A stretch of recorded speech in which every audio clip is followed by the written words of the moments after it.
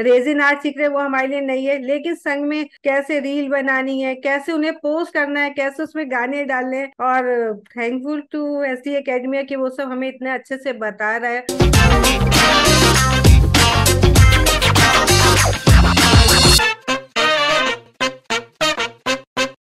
Namaste.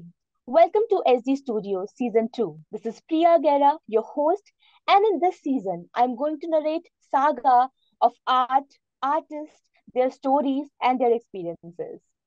आज हम जिनसे मिलने वाले हैं मैं उन्हें क्या बुलाऊँगी?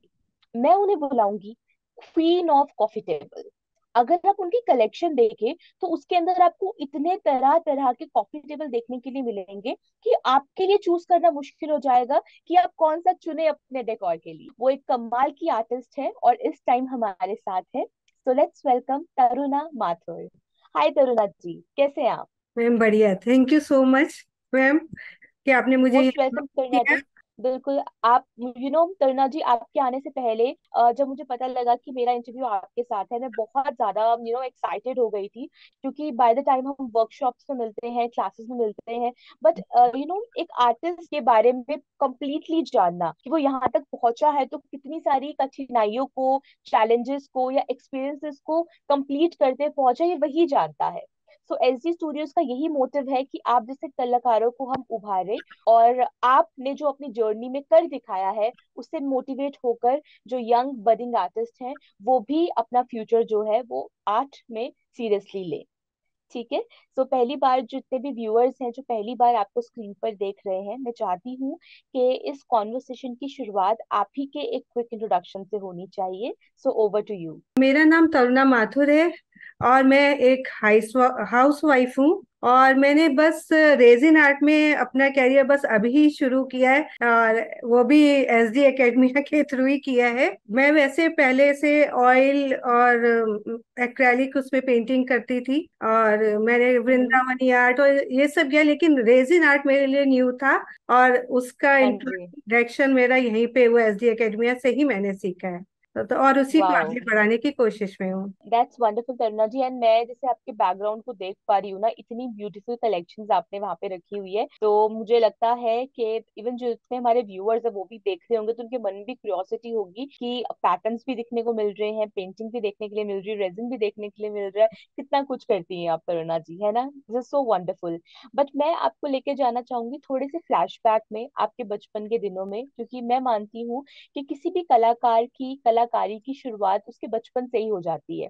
So do you remember any incident related to your childhood जहाँ पर पहली बार आपको पता लगा हो या आपको ऐसा रियलाइजेशन हुआ हो कि तरुणा आपके अंदर भी एक कलाकार है और आप भी कुछ यू नो आर्ट फ़ील्ड में कर सकती हैं?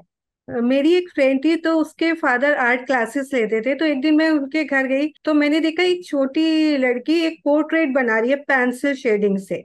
और अच्छा। वो एक ओल्ड लेडी का था उसमें वो रिंकल्स और वो सब आई थी उसको देख के मतलब मैं इतनी एक्साइटेड हो गई और मैं दौड़ कर वापस अपने घर आई और मैंने कहा मुझे भी ब्लैक एंड व्हाइट में मैं बहुत छोटी थी उस समय और पेंसिल से मुझे भी कुछ ड्रॉ करना है तो ब्लैक एंड व्हाइट में मुझे पहले न्यूज़पेपर में सैरेलक बेबी की फ़ोटो आती थी तो मैंने वो हाँ।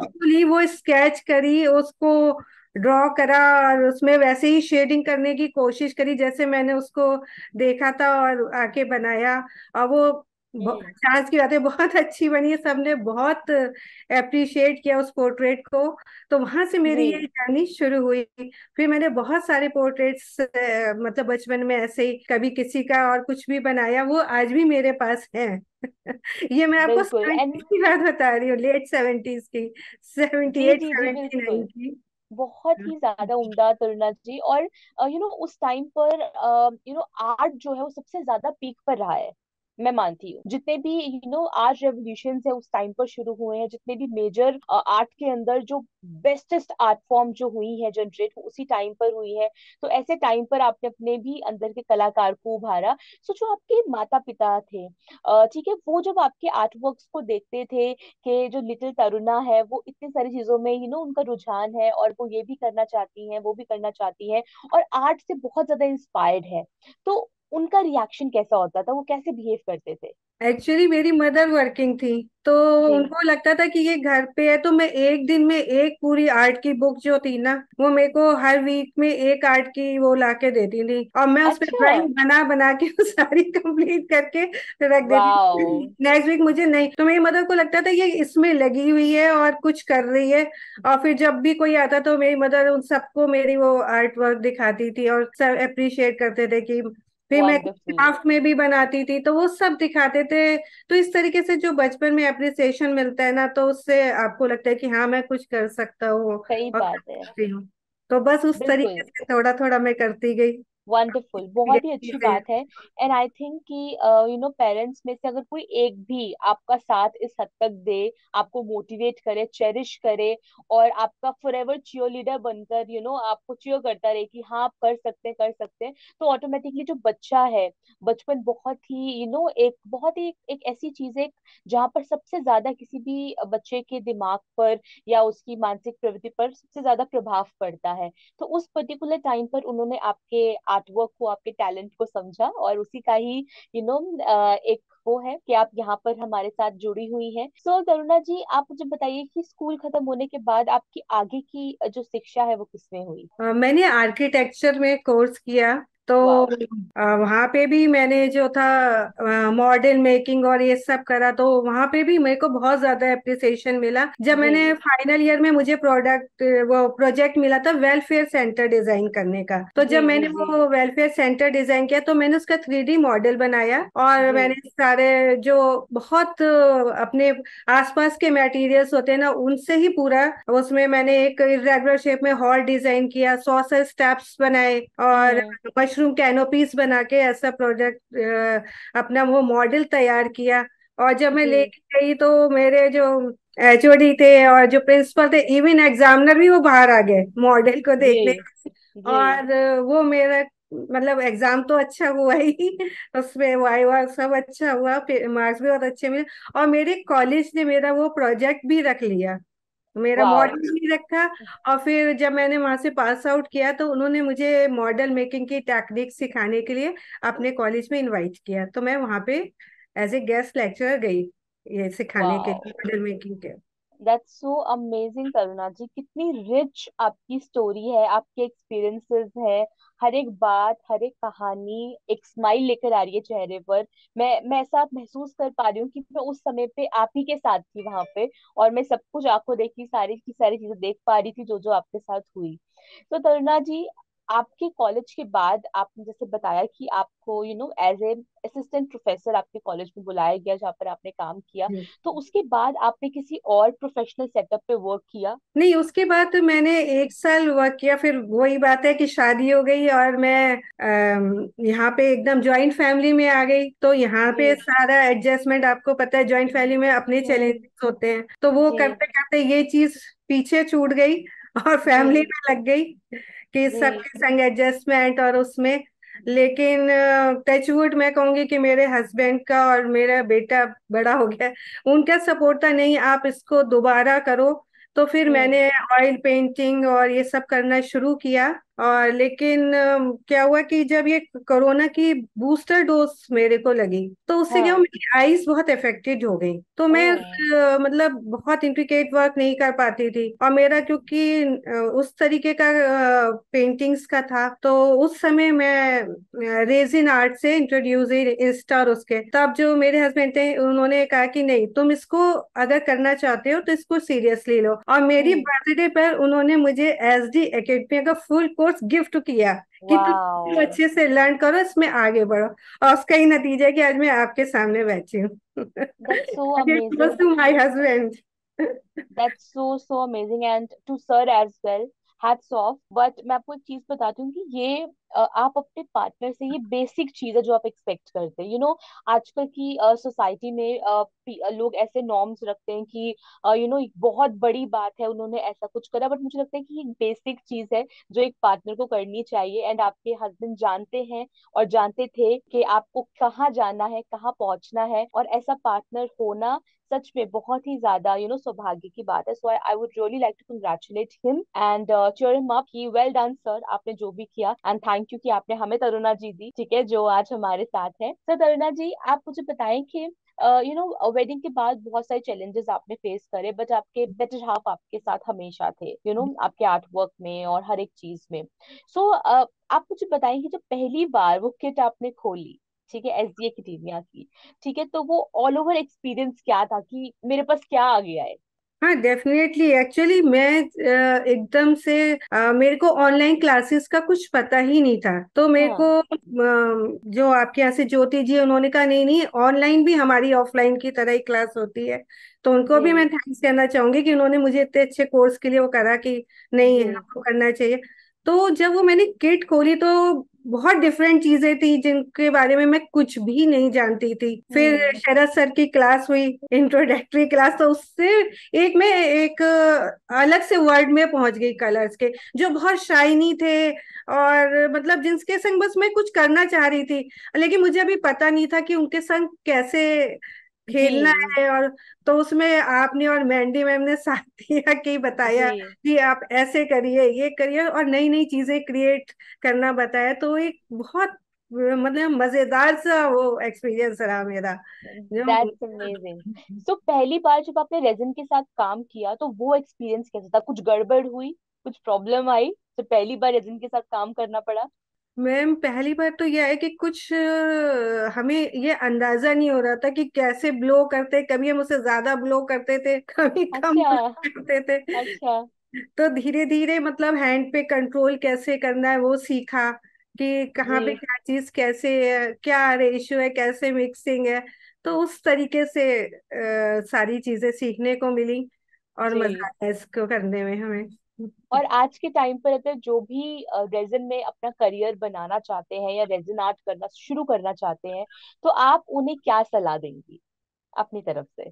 मैं उनको ये सलाह दूँगी कि एक ये बहुत ही खूबसूरत आर्ट है और आपको उसमें अपनी क्रिएटिविटी लानी है तो उसके लिए आपको जो है ना आपको ड्राइंग आती है या नहीं आती लेकिन आपको माइंड सेट बिल्कुल अच्छा होना चाहिए कि मेरे को क्या चीज़ ड्रॉ करनी है क्या बनाना है। अगर आप उससे वो करेंगे तो आपके मास्टर पीस तैयार होंगे फॉर श्योर फॉर श्योर और आज जैसे तरुणा जी आपने बताया स्टार्टिंग में ब्लो करते हुए या फिर कैसे कंट्रोल करना है ये आपको प्रॉब्लम आती थी बट आज आप एक प्रोफेशनल रेजन आर्टिस्ट हैं अपना ब्रांड सेटअप कर चुकी रेजन के अंदर तो आज आप खुद को तरुणा को कैसा पाती है? मैं ऐसा सोचती हूँ कि आज मैं रेजिन को अपनी बाकी भी आर्ट फॉर्म्स के संग कंबाइन कंबाइंड करने के लिए जी मतलब जी। पहले एक चीज़ आपको आती नहीं थी। अब मैं मिक्स मीडिया उसमें वर्क कर रही हूँ और उसके संग रेजिन को एक मेन कंपोनेंट की तरह यूज़ कर रही हूँ और हाँ नई नई चीज़ें मतलब खुद ही क्रिएट करने की कोशिश कर पा रही हूँ। जी जी जी। मैं समझ और इवन मैं समझ सकती हूँ आपकी पूरी की पूरी यू नो स्टोरी से भी कि किस तरीके से आपने एक एक एक एक कर कर चीज़ों को जोड़ा समझा और उसके बाद जाकर इस जर्नी को आपने तय किया। So really really wonderful Taruna ji. आप जिस तरीके से काम करती हैं जिस बारीकी से आप काम करती हैं वो झलकती है आपके आर्टवर्क में। ये बहुत ज़्यादा इंपॉर्टेंट चीज़ है कि आपने इतने सालों में अपना वो पर्टिकुलर जो आपका यू you नो know, आप इसे बोलेंगे कि आपका एक स्पेशलिटी उसको आपने अपनी स्पेशलिटी को डिम नहीं होने दिया। ये बहुत बड़ी बात है। Thank you ma'am ji. So much जी जी जी। तरुणा जी तो आप मुझे बताइए कि अभी इस टाइम पर आप एस डी स्टूडियोज में आप अपने जो ब्रांड को लेकर आई हैं उसका क्या नाम है? ब्रांड के अंदर हमें क्या क्या देखने के लिए मिलेगा और आपके ब्रांड की क्या स्पेशलिटी है? मेरे ब्रांड का नाम है आर्ट बुटीक बाय तरुणा और मैं इसमें जो है मिक्स मीडिया ही यूज़ करने के उसमें हूँ और उसको रेजिन के सम, अ, संग कंबाइंड करके मैं नए नए प्रोडक्ट्स लाने की कोशिश कर रही हूँ। जैसे पेंटिंग के फॉर्म में मैं क्लॉक्स ला रही हूँ। और उसमें जैसे फ़ोटो फ्रेम्स हैं तो उनको फ़ोटो फ्रेम्स ना बना के मैं क्लॉक्स या इस डिफरेंट फॉर्म्स को मैं क्लॉक्स पेंटिंग की तरह ही क्रिएट करना चाह रही हूँ। और वो मैंने वॉल आर्ट तरीके की क्रिएट करी है। तो उसमें मैं कहीं पे जियोड वाला फॉर्म भी यूज़ कर रही हूँ क्रिस्टल्स का भी और कहीं पे मैं पेंटिंग का भी यूज़ कर रही हूँ।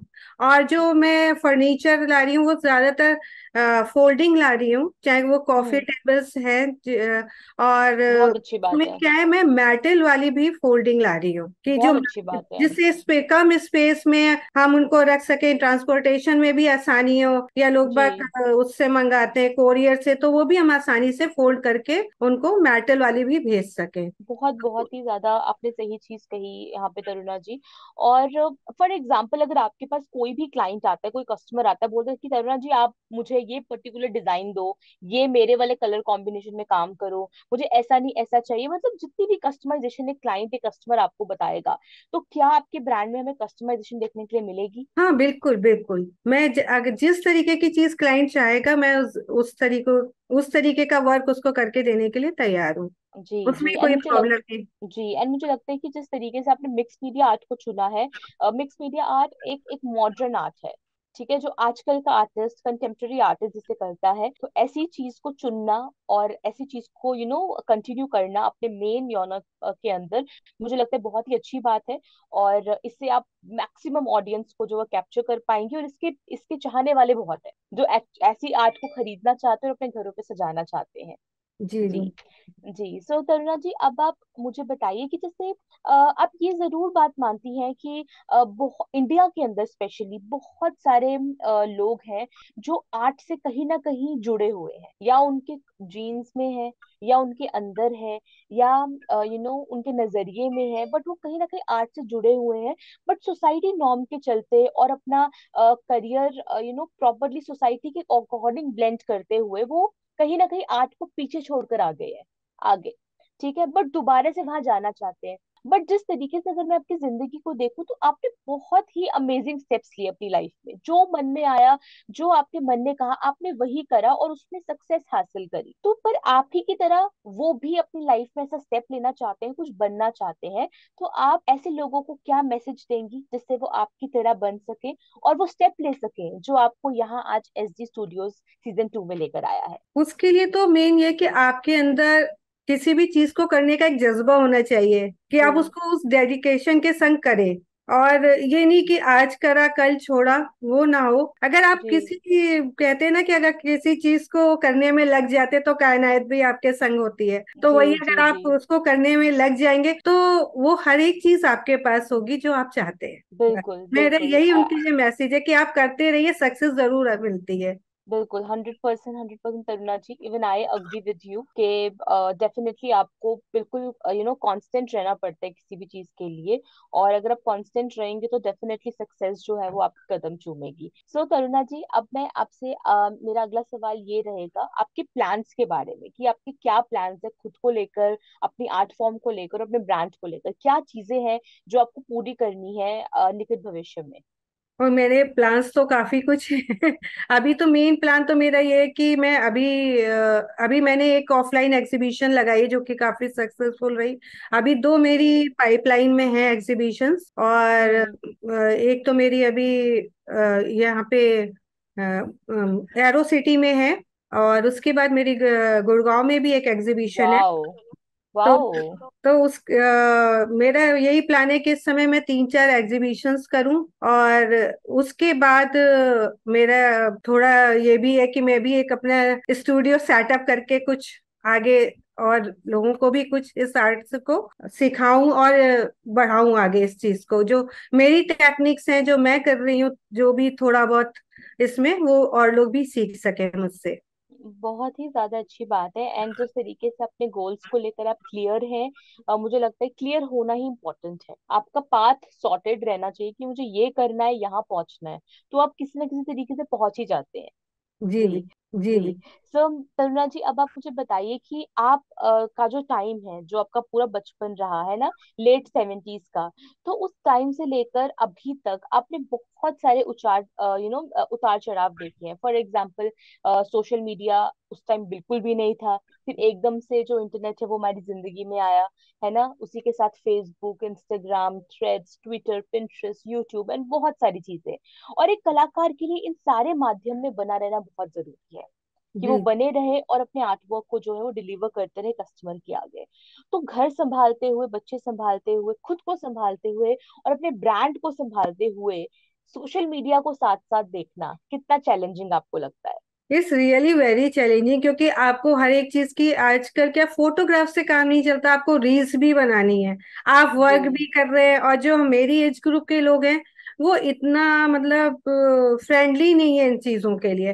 तो हमारी इस पे हमारे को थोड़ी ज़्यादा मेहनत करनी पड़ रही है क्योंकि हम इन चीज़ों को भी हैंडल करना सीख रहे हैं आर्ट के संग संग आर्ट की भी इतनी नई फॉर्म्स आ गई हैं पहले हम उनको जैसे रेजिन आर्ट सीख रहे हैं वो हमारे लिए नहीं है लेकिन संग में कैसे रील बनानी है कैसे उन्हें पोस्ट करना है कैसे उसमें गाने डालने और thankful to S D academy कि वो सब हमें इतने अच्छे से बता रहा है और हम ये कर पा रहे हैं। जी एंड तरुणा जी आप डेफिनेटली कर पा रही हैं।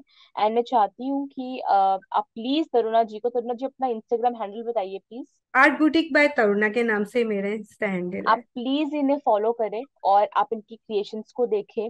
आप आर्टिस्ट के साथ जुड़े रहेंगे आप उनकी जर्नी को जान पाएँगे और जिस जर्नी से को यू नो पूरा करते हुए तरुणा जी यहाँ तक पहुँची हैं वो उनको सबसे अलग बनाता है उनके आर्टवर्क को सबसे अलग बनाता है और जो बारीकियत आप उनकी बैकग्राउंड की पेंटिंग्स में देख पा रहे हैं यही बारीकियत वो आपको भी डिलीवर करेंगी।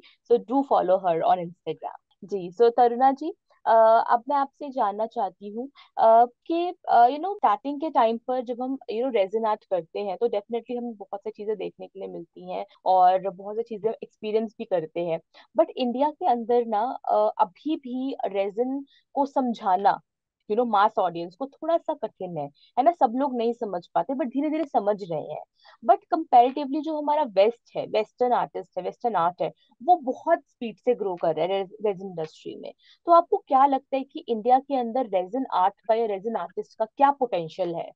एक्चुअली जैसे मैं अभी एग्जीबिशन लेकर गई तो वहाँ पे मेरे पास बहुत सारे लोग आए कि जिन्होंने अभी रेजिन आर्ट में केवल वो कहते अच्छा रेजिन आर्ट में ये भी बन सकता है। हमें तो पता था इसमें केवल पोस्टर्स और ट्रे ही बन सकती है। जी। नहीं मैंने कहा नहीं नहीं इसमें मैं वॉल आर्ट मैं ले गई थी। वो लोगों को बहुत अच्छी लगी वो फॉरन वॉल आर्ट ले गए। मैंने एक डॉल्फिन के पेंट करके उस पर रेजिन आर्ट कर, कर, के संग वो बनाई थी वॉल क्लॉक वो लोगों को बहुत अट्रैक्टिव लगी। वो फटाफट जिसे कहते पूछ रहे थे, ये क्या बनाए कैसे बनाए? तो मतलब एक रेजिन क्या चीज़ है कैसे हम लोग भाई ये भी जानना चाहते कि कैसे मतलब आप उस पर काम करती हैं ये जी क्या है? जी जी। ये एक मतलब प्लास्टिक है या ग्लास है? तो इस तरीके की अभी अवेयरनेस की कमी है रेजिन के लिए लोगों में। लेकिन हाँ हाँ डेफिनेटली लोग बात जानना चाह रहे हैं और इसको बहुत पसंद कर रहे हैं। जिनको भी समझ में आया उन्होंने प्रोडक्ट फॉरन लिया और बहुत खुश होते हुए और जिनको पता था उन्होंने कुछ पूछा ही नहीं कि हाँ उनको लगा कि हाँ ये मुझे पसंद है और ये मुझे चाहिए। बस। बहुत अच्छी बात है बहुत ही अच्छी बात है और आपने बहुत ही सरल यू नो उदाहरण देकर हमें समझाया कि किस तरीके से लोग जो है वो जागरूक हो रहे हैं रेजिन को लेकर और जो नहीं है वो जानना चाह रहे हैं कि क्या है तो definitely it makes resin industry and resin artist the most potential one in contemporary art world तो प्रेरणा जी मेरा आपसे आखिरी क्वेश्चन रहेगा आपके रेवेन्यू के बारे में कि अभी तक आप कितना रेवेन्यू जो है आपका ब्रांड जनरेट कर चुका है कितना प्रॉफिट आपको हुआ है हमें ये बताएँ। अभी प्रॉफिट की तो मैं क्या कहूँ रेवेन्यू जो है मेरा वन पॉइंट वन लैक्स का रहा है और अभी तो मतलब जस्ट मेरी फ़र्स्ट एग्जीबिशन है तो अब सेकंड में देखती हूँ कि क्या होता है That's amazing. That's amazing, Taruna ji. We are so happy to hear that. And starting में ही सिक्सर लगाना, you know, ये बताता है कि आप कितने एक्सपीरियंस्ड हैं और कितने मंझे हुए कलाकार हैं and you know many more opportunities to come जितनी चीज़ें अभी आपको लग रही है अधूरी हैं जो जिनका पूरा होना बाकी है I am very much sure कि एस डी स्टूडियोज उनको पूरा करेगा आपके सपनों को और जो भी चीज़ें आपने सोची है अपने ब्रांड को लेकर including your studio and upcoming exhibition wish you all the best best and and a great, great, brightest future. Thank you thank you so much और मैं एस डी एकेडमिया की टीम को शरद सर को आप प्रिया ma'am आपको और Mandy ma'am आप सबको बहुत ज़्यादा थैंक्स कहना चाहती हूँ कि आपने इतनी अच्छी टेक्निक्स और आपने जो अल्कोहलिक इंक से हमें इंट्रोड्यूस कराया और मतलब सीमेंट और सबका वर्क वो अमेजिंग है। ये जर्नी बहुत अच्छी रही मेरी और मैं आपसे जुड़ी हुई हूँ और आगे भी आपसे सीखती रहूँगी। डेफिनेटली तरुणा जी बट ये कॉन्वर्सेशन अभी यहाँ पे खत्म नहीं हुई है। मैं आपको लेके जा रही हूँ हमारे नेक्स्ट सेगमेंट पे जिसका नाम है द रैपिड फायर राउंड जहाँ मैं आपसे पूछूँगी कुछ रैपिड सवाल और आपको देने होंगे मुझे कुछ रैपिड आंसर चले?